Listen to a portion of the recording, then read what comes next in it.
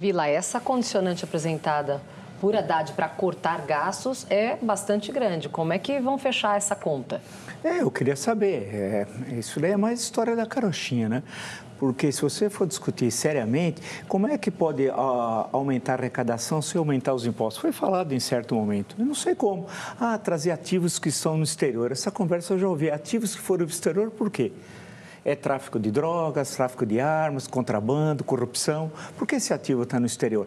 Ah, vamos agora ampliar os jogos, então vamos criar cassino e aí a partir da arrecadação de cassino. Isso é piada. Precisa discutir seriamente. Os parlamentares têm que levar a sério essa discussão.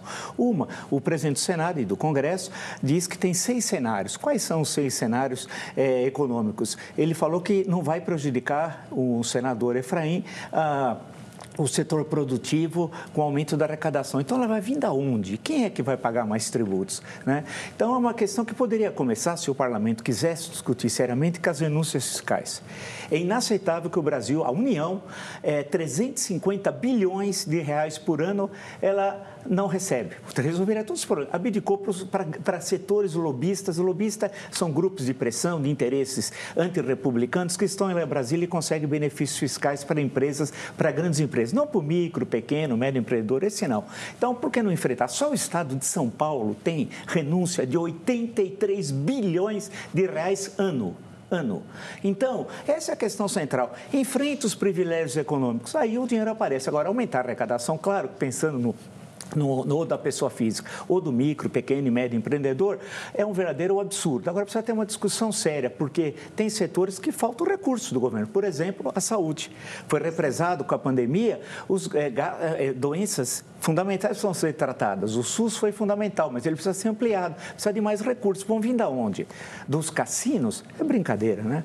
Já que você tocou nessa questão da saúde, eu passo para você, Heloísa. Será que há clima político para a revisão dos pisos da saúde e da educação no governo petista, que foi algo que foi hoje comentado pela Simone Tebet? É, infelizmente, clima político existe.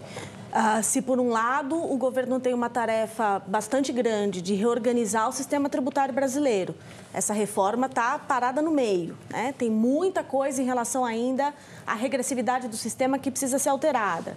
Se necessariamente a gente precisa repensar nos gastos tributários, nesses benefícios que são concedidos sem transparência e muitas vezes sem nenhum tipo de retorno, por outro, há uma pressão para manutenção do orçamento enquanto uma peça de realização de direitos fundamentais e, mais especificamente, da saúde e da educação, com vinculação de receitas.